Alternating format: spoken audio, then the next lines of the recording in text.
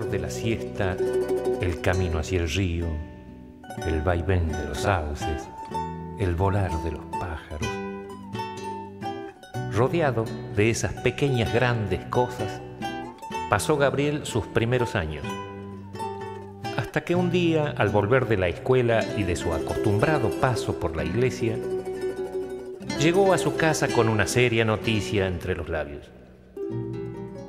Quería cursar los estudios correspondientes para llegar a ser como el señor cura.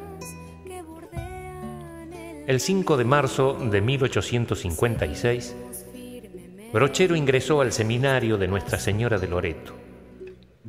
Entonces el hecho de ingresar al seminario no significaba asegurar una carrera eclesiástica. En él solamente se dictaban las clases de latín, debiendo cursar el resto de las materias en los claustros universitarios. El 13 de marzo de 1858, Brochero concurre por primera vez a la Universidad Nacional Mayor de San Carlos para inscribirse en primer año de filosofía.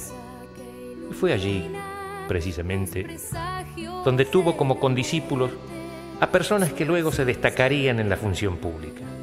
Tal el caso del doctor Miguel Juárez Elman, gobernador de Córdoba, luego presidente de la Nación, como así también a otros descendientes de conocidas familias.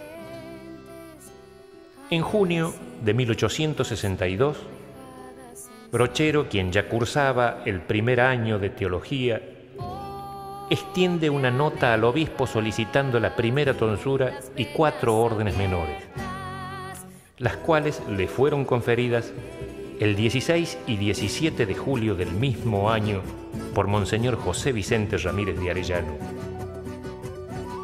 Cuatro años más tarde, a diez de su ingreso al seminario, a los 26 años de edad fue ordenado sacerdote.